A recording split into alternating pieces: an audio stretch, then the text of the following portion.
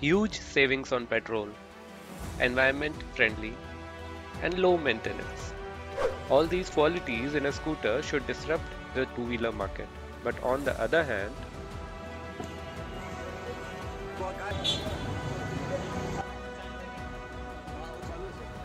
A man set his EV scooter on fire. He was quite outraged at Ola for first giving a faulty scooter and then not responding to his concerns. He had already gotten the scooter serviced by Ola three times before. In another instance, a man tied his Ola scooter to a donkey and paraded it around town. In fact, Sachin Gittetu did the same.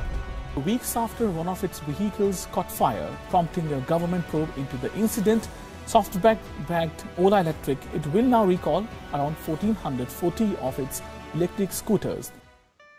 Ola Electric has been in the limelight ever since its launch for both good as well as horrible results. But as the year 2022 progressed, the company has been able to grow its sales and popularity tremendously. Hello everybody. In this video, we are gonna know exactly why Ola Electric can either crush the EV two-wheeler market or be burned in its own fire. Before the concept of electric vehicles, the opinion of software and hardware related to automobiles were quite different. Software has very less to do with the overall functioning of the traditional fossil fuel based vehicles. With the introduction of Tesla and other such electric vehicles, the concept of improving an automobile's performance using software created a revolution and it was followed by the adoption of similar technology by two-wheeler electric vehicles in India. On 3rd February 2017, Bhavesh Aggarwal, the co-founder and CEO of Ola, established Ola Electric during the ongoing craze and demand of electric vehicles in India. On May 2020, Ola Electric acquired an Amsterdam-based electric scooter manufacturer, Etergo.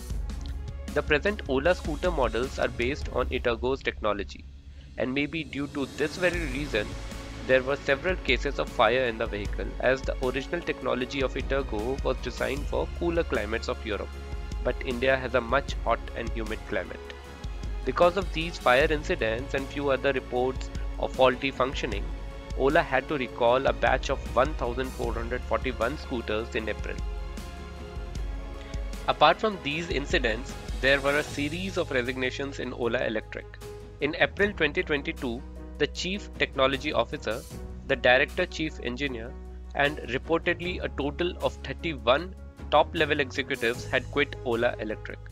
And on top of this, tough competition from the market made matters worse. The incidents, the resignations, and the announcement of production shutdown for one week made it seem like Ola Electric was the worst mistake by such an inexperienced entrepreneur like Bhavesh Aggarwal. But there is a silver lining.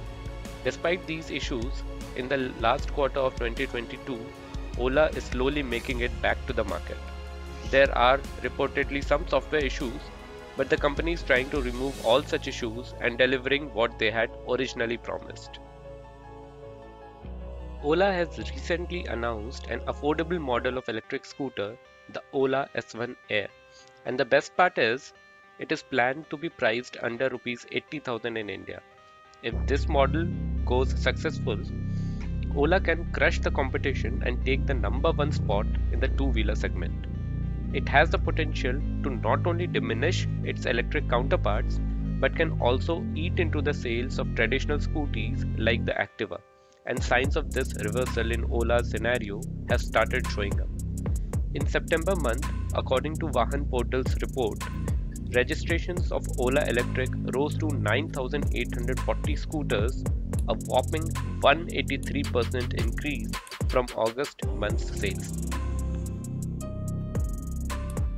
Continuing this trend, in October, Ola has a registration figure of 12,242 scooters, again a 24% jump from September month. With this, Ola became the largest electric scooter company according to number of registrations. While Ola became the highest seller of two-wheeler electric vehicles, it has beaten not only Hero Electric and Ather but has also crushed the market leader like Okinawa Autotech based on the number of registrations. Okinawa which had a negative growth of 1.4% in September registrations, is slowly losing the number one spot. Seeing the complete picture, Ola still has a long way to go. With the launch of S1 Air model, Ola has to win the hearts as well as the pockets of Indian consumers.